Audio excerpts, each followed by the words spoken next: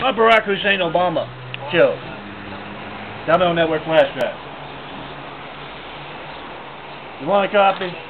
It's about street justice for those running wild with way too much time and getting away with way too much here in America and worldwide.